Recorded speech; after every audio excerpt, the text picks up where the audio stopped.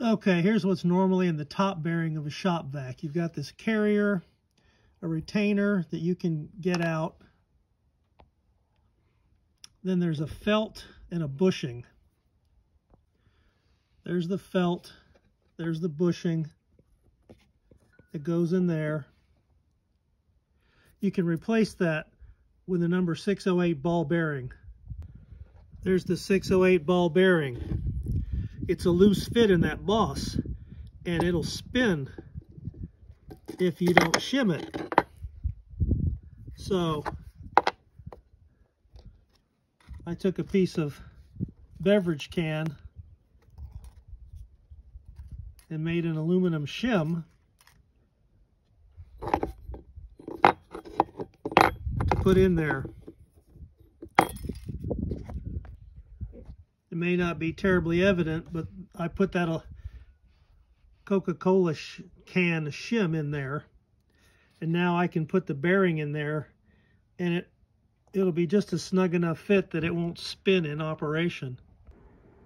Now in this example, I've got that shim, you know, going around exactly 360 degrees the circumference of the bearing boss. But in your application, you may need to adjust the length of that shim. It may not to be may not need to be the entire 360 degrees. You know, if you make it that big, the bearing may not fit. It may be too much thickness. So adjust the shim length to get the bearing to be a nice firm, you know, fit so that you can just barely push it in with your fingers. That'll keep the outer race steady so the outer race won't spin inside the boss. Now, if you discover that your shim length needs to be less than 360 degrees around the bearing, you know, to make it fit properly, you're going to want to cut the shim into two pieces, you know, of just the right amount of length. Let's just say like that and like that.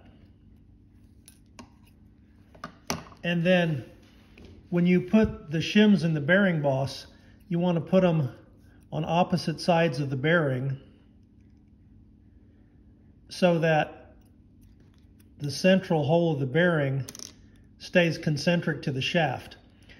Now, the tolerances on this shop vac motor are probably such that, you know, you could leave that, that shim in one piece and wrap it around and it wouldn't offset the bearing too much to actually matter. But if you want to be a perfectionist about it, and you're having a shim that's less than 360 degrees, cut it in two pieces, put them on opposite sides of the bearing.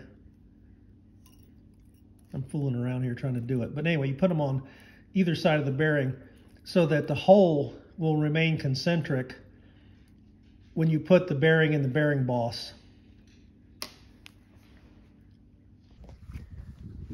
So there's the shim in place. The bearing is in there. and I can't spin that bearing. I gave it a pretty good little wiggle and it won't spin. Now the only downside to this is driving this on the shaft. When you drive a bearing onto a shaft, you're supposed to put all the force on the inner race of the bearing, not the outer race. And when I go to put this on the shaft, I'm going to drop this on the shaft and bang on this. And some of the force is going to be transmitted through the outer bearing I mean the outer race. But hopefully it'll go on with just a small enough force that I won't damage that bearing by driving it onto the shaft that way.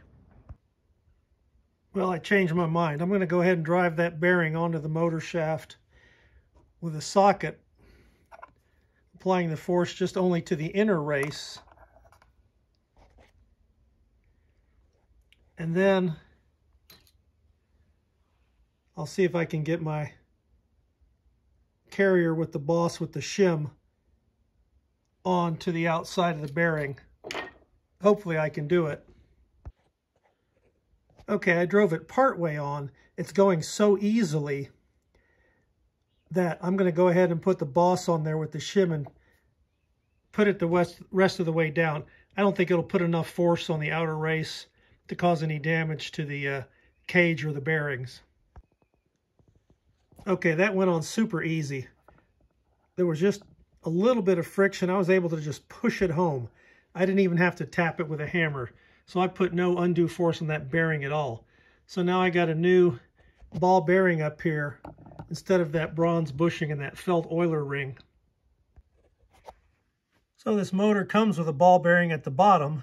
I've put a new ball bearing up here to replace the bronze bushing and there's no free play in there at all. I can't move that shaft side to side at all. When I had the old bushing in there, which was worn out, there was a bit of, you know, radial side play in that between the shaft and the bushing, but this is dead solid.